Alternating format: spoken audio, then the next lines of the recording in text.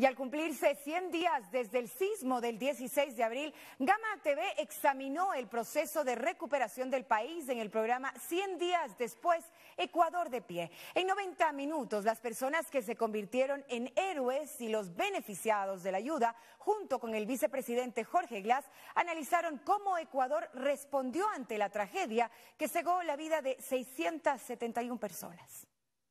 No me olvido,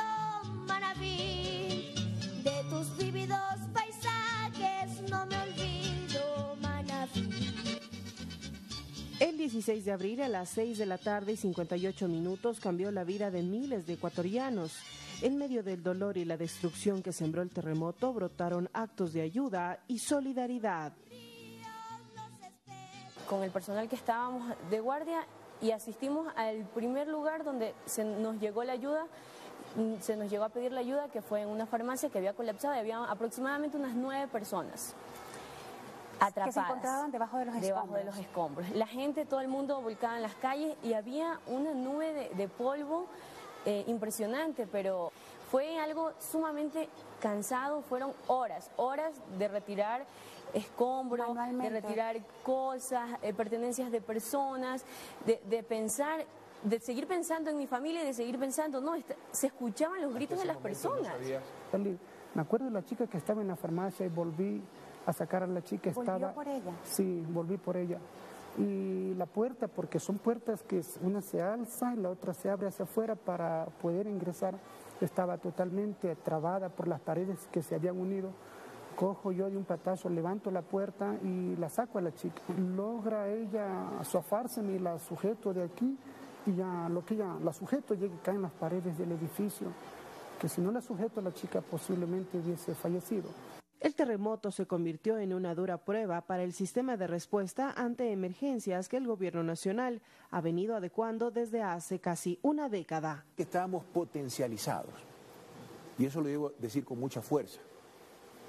Las empresas eléctricas con carros canastas, con equipos, con personal capacitado, bueno, no solamente la infraestructura, hospitales, quirófanos móviles, el stock suficiente de medicinas, es decir, el inventario de medicina fue el suficiente para atender una catástrofe de esta naturaleza. Luego de la atención emergente del rescate de las víctimas y la estabilización y tratamiento de los heridos, el Estado decidió impulsar el restablecimiento de las actividades económicas y de la recuperación de la vida mi salita con la cual yo tengo unos muebles que fueron recuperados entre escombros en la casa donde yo habitaba anteriormente y el mismo también tengo juego de comedor.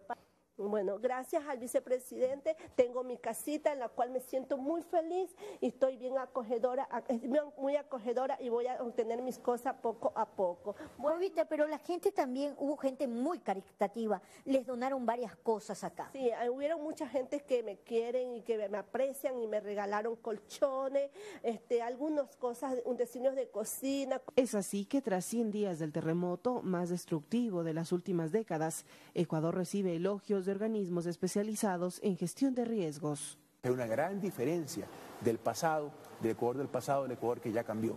Ahora ningún ecuatoriano está solo y está seguro y confía en ello. Somos muy honestos al decir que no vamos a alcanzar a reconstruir todo antes de tres años.